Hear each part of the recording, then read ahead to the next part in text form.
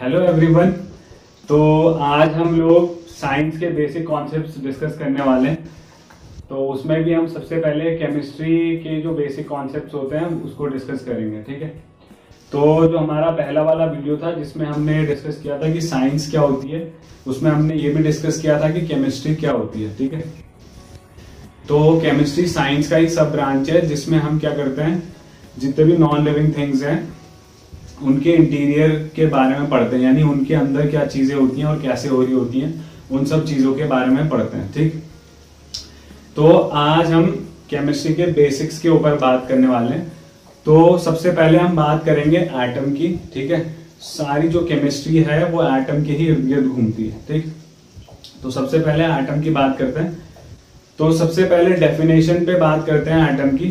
तो जो डेफिनेशन होती है एटम की तो the smallest particle of an element that participates in a chemical reaction is known as atom ठीक है? तो डेफिनेशन के अकॉर्डिंग इसको ऐसे डिफाइन किया जाता है, ठीक? अब इसका मतलब ये हुआ कि किसी भी एलिमेंट का जो सबसे छोटा हिस्सा है, जो किसी केमिकल रिएक्शन में भाग ले रहा है, उसको हम एटम बोलते हैं, ठीक? अब इसको एक एग्ज़ाम्पल के थ्रू समझने की कोशिश करते हैं, ठीक? अब ऐसा समझो कि आपके पास एक डिज़ाइन है, ठीक है? जिसमें आपने बॉल्स रखी है। छोटी छोटी बॉल से मिलके ये डिज़ाइन बना हुआ है, ठीक?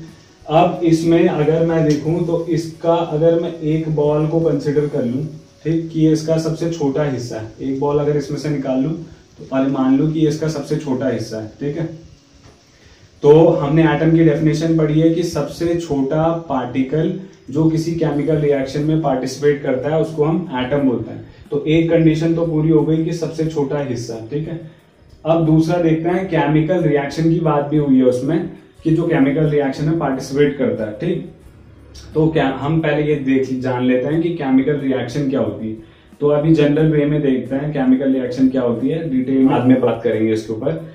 तो केमिकल रिएक्शन क्या होती है? जब भी कोई दो चीज़ आपस में कंबाइन होती है केमिकली और उससे कुछ नया बन जाता है, उसको हम केमिकल रिएक्शन बोलते हैं, ठीक है? तो यहाँ पे क्या हो रहा है, देखो, ये जो बॉल है, छोटी, ये सबसे छोटी भी कंसिडर कर लिया हमने, और ये बाकी बॉल्स के साथ कंबाइन होके, ठीक है, क्या कर रहा है? एक डिज़ाइन तैयार कर रहा है। तो ये केमिकल रिएक्शन में भी पार्टिसिपेट कर रहा है, ठीक?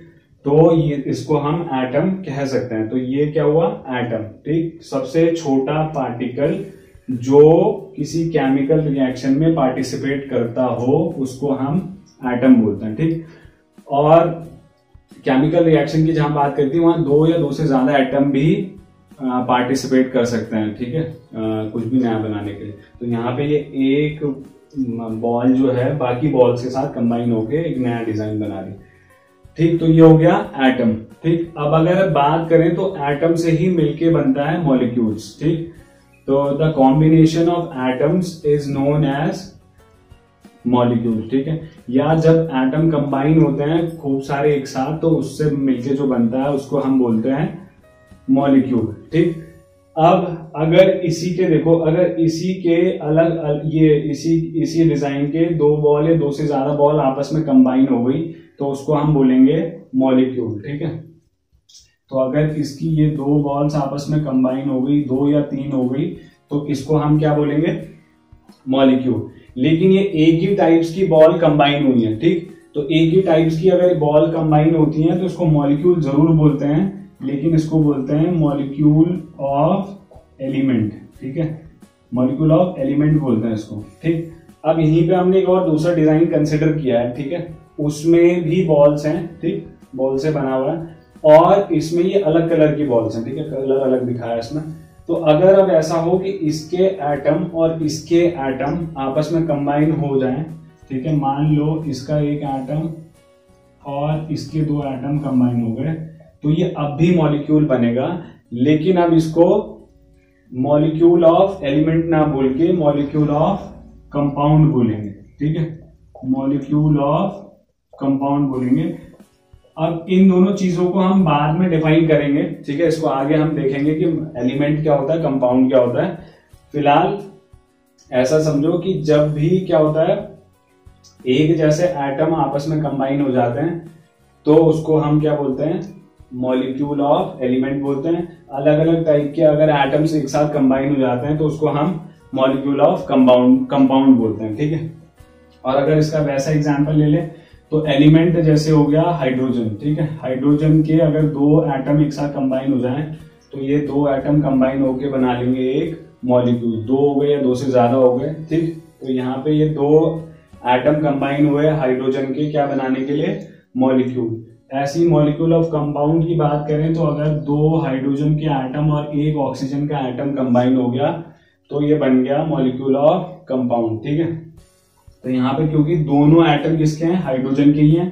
तो ये मॉलिक्यूल ऑफ़ एलिमेंट यहाँ पे जो एटम कंबाइन है दो एटम है हाइड्रोजन के एक एटम है ऑक्सीजन का तो अलग अलग चीज़ों के एटम है इसलिए मॉलिक्यूल ऑफ़ कंपाउंड ठीक है? अब बात करते हैं मॉलिक्यूल और एटम से मिलके ही बनता है मैटर ठीक है? तो मैटर क्या होता है? तो मैटर की अगर डेफिनेशन पे जाएँ तो मैटर होता है, अगर डेफिनेशन के हिसाब से जाए तो matter anything that occupy space and has mass is called matter ठीक है? तो मैटर जो भी चीज़ जगह घेरती हो और उसका अपना खुद का कोई मास हो, उसको हम क्या बोलते हैं? मैटर बोलते हैं, ठीक? और हम यहाँ पे ये डिज़ाइन कंसिडर कर रहे थे तो यहाँ पे हमने देखा कि ये खूब सारी बॉल्स हैं। और अगर ये खूब सारी बॉल्स हैं तो इनका खुद का कुछ मास भी होगा, ठीक है? और ये जगह भी घेरी रही है। तो ये पूरे का पूरा क्या हुआ? मैटर हुआ, ठीक? और अभी हमने बात करी मैटर किससे बना होता है?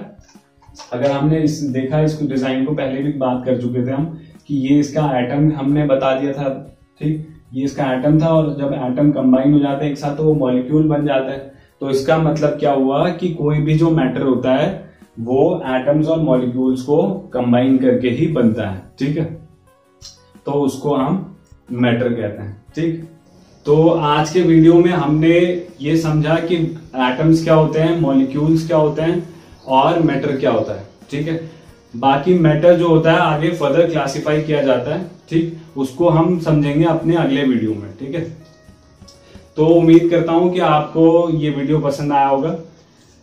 अगर आपको ये पसंद आया हो तो आप इसको लाइक करें सब्सक्राइब करें कमेंट करें और जितना हो सके अपने दोस्तों के साथ इसको आगे भी शेयर करें।